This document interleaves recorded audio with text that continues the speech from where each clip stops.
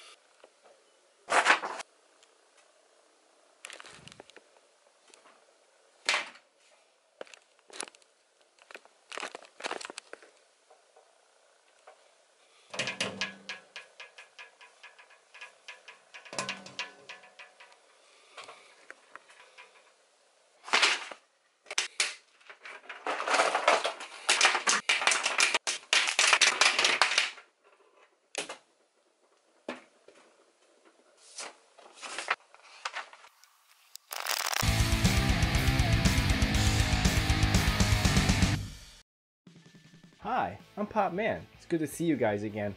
I am so happy that you all have made it here for yet another clip of silliness and craziness. I should mention that when I say it's good to see you, I really can't actually see you. I mean, that would be kind of creepy. It's super creepy. I hope you guys are staying in and keeping yourselves safe. So today, I am going to draw one of my most favorite characters of all time. I mean, I'm super serious this time. My most favorite, favorite, favorite superhero of all time. The mother of all dragons. Kitty Pryde. Got him! So this commission is very, very special. Not too long ago, I put up an auction on Twitter. And you can follow my Twitter. Here. Or there. Or just, just be sure to follow my Twitter if you can. the auction is for the hashtag creators for comics as a worthwhile charity to help struggling comic book shops. It was a total pleasure for me to be able to help out any which way I can. And I know that my one art piece may not help that much, but it's every little bit helps. So if you have a local comic shop near you and you wanted to help out, you can see if, if they would deliver, which I don't think they do. Not, not sure on that one or you can also help by just ordering comics to pay to be picked up curbside. So you might not be able to help the whole industry, but you can definitely help your local comic shops. I hope you do. Please. It would be great. And I'm sure that your local comic shops would thank you very much as well. So enough talk. Let's go draw some Kitty Pryde.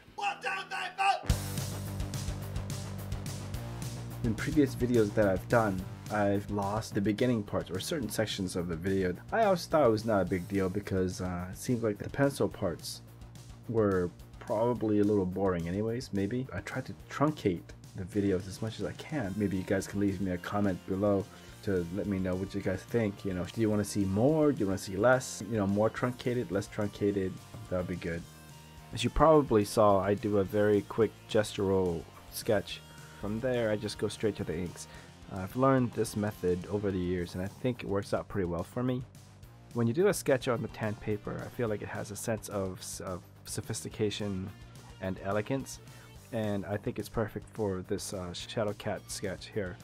I kind of knew going into it what paper um, I would be selecting for this particular sketch, uh, as well as you know the materials I was I would be using.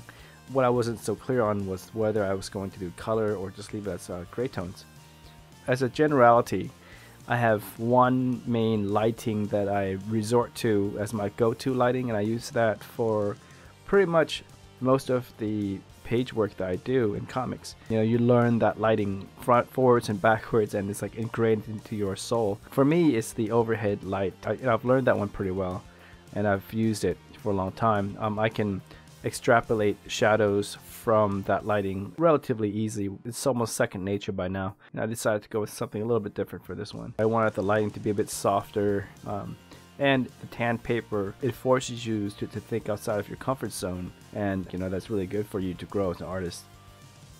So if you guys wonder why it is that I'm talking like Max Headroom uh, uh, in these videos, kind of doing like the I, I, I, hey, how are you, you, you, you, you, you doing? Um, it's mainly because uh, there's a lot of heavy editing in the videos. I do apologize for it, but the way I speak is really annoying to most people. And I've, I learned that uh, over the years, obviously, but mainly I've noticed it more and more when I do these videos. Or maybe that's just me annoying the heck out of myself. Probably more that than anything else. But also, I tend to go on crazy tangents and then never get back to what, what it was that I'm talking about. I can edit the things that I talk about when I'm writing an email or something or you know writing a story I can go back and edit it and that's kind of what I'm doing here you know I'm editing a lot of what I say um, because I tend to ramble.